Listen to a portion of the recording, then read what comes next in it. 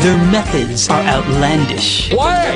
Listen, cut his mic. Listen, Chad, stop, stop, stop, stop, stop, Chad. Thank you, James. I'm, Side up the left. I'm doing, I'm doing, you. you. Search don't take your cheap little pathetic shot. Their technique is outstanding. Because he does seem to agonize and flip flop over and over and over again. Flip flop on all these issues. Terry's flip flopping. Flip flopper. Flip flops. Flip flops. Flip flops. Flip flop. Flip flops. Flip flops. Flip flops like crazy. Opportunistic flip flopper who doesn't have any principles. Is that a little harsh? Their news is outrageous. Why can't the city attract more minorities to the police department? Well, because black guys are afraid of water. North Korea loves uh, loves John Kerry. Really? Yeah. The key thing is don't be inhaling, don't be ingesting. Stay inside, don't drink or eat anything. What would you say would, would be uh, Senator Kerry's one or two major weak points that could be exploited? Is Kerry's involvement in a group that's inherently violent? John? Kerry was scaring old people as usual. Saddam must love you, and I'm sure he must. Don't even, don't even try and do that Well, let's just- let's just- The way we deal with them is the way President Bush is dealing with them.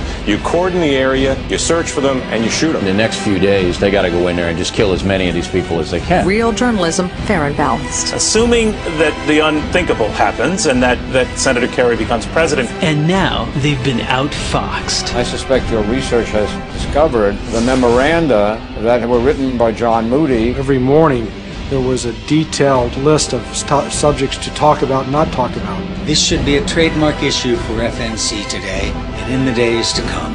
The incredible story unfolds as X-Fox News employees tell all. There was nothing covert about the way the managing editors in New York or Washington operated. They made it perfectly clear what they expected from us. Robert Greenwald guides us into an uncompromising look at one of the most scandalous news sources in our time. Understand that this is an adjunct of the Republican Party. There is no journalism at the Fox News Channel. A better slogan for Fox would be We opine, you recline.